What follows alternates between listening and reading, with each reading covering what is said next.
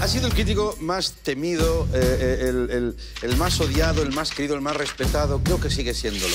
Vamos a hablar con Carlos Bollero. Hay muchos directores de cine que quieren que Carlos escriba de su película, bien o mal. Siempre dices lo que te da la gana, ¿no? Para mí la figura de Bollero simboliza el patriarcado, el clasismo, el sexismo y todos los ismos que te puedas imaginar.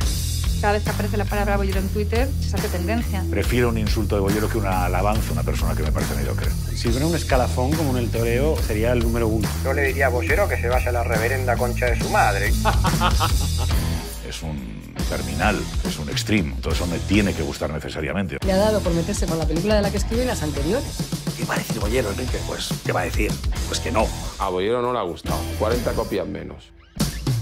Creo que Carlos es un gran cronista de esta época, desde su punto de vista. Él ha salpicado 40 años de la historia del periodismo de este país. Perciben una autenticidad que no encuentran en ninguna parte en este mundo.